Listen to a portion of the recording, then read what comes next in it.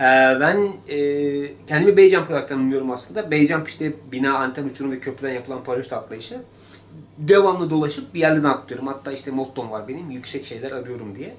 Ee, Tekirdağ'da Namık Kemal Üniversitesi'nin stadyumun ilk gördüğümde gördüğüm ve dikkatimi çeken ilk şey oradaki lambalardı. Stadyum lambalarıydı. Ve benim hafızam beni yanıltmıyorsa e, dünyada stadyum lambasından herhangi bir atlayış bugüne kadar ben görmedim. Türkiye'de olmadığını zaten biliyorum. O yüzden e, çok rüzgarlı bir yer bu arada. En az iki ay rüzgarı bekledim. İki ay sonra bir pazar gün öğlen çok güzel bir havada çıkıp e, yaklaşık 47 metre, 45 metre yükseklikte e, stadyum lambasından kendimin ve Türkiye'nin ilk base jump atlayışını yaptım.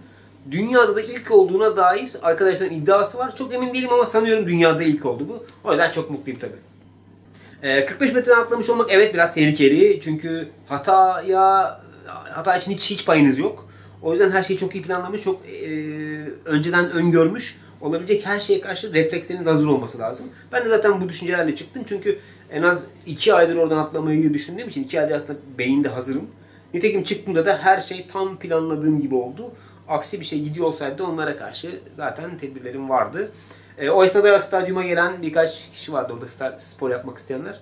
Haberleri yoktu. Birden tepelerinde paraşüt açılınca şaşırdılar aslında. E, öyle güzel bir gündü. E, kendi şeyime, arşivime bir stadyum lambası atlayışı sokmuş olduğum için mutluyum. Bundan önce de çok nerelerde dünyada 43 ülkede atlayış yaptım. E, Norveç'te yapılan bir atlayışta dünya rekorum var. E, Türkiye rekorum var en yüksek irtifa atlayışı olarak. Aynı zamanda Cehennem Çukuru'nu atladım Mersin'deki çok tehlikeli bir atlayıştı o. E, Galata Kulesi'ni atladım geçen sene zaten birçok kişi bilir onu.